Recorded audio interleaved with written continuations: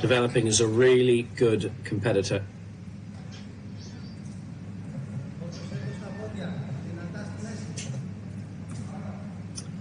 Lampridis of Greece, having cleared 109, this for 113, to become the second man to reach that weight for Greece, and Lampridis has done it. Great results for him lately. Silvers in the European Junior last year, bronze in the European Youths.